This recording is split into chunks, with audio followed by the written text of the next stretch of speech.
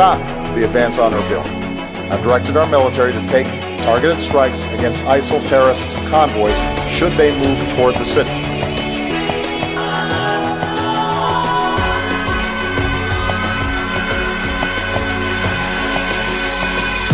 Okay, so the president made that statement last night. Now the bombs are actually falling. That's right. Two F-18s from the George H.W. Bush carrier uh, took part in these strikes. President Obama today said U.S. airstrikes targeting Islamic militants in northern Iraq are proving to be successful.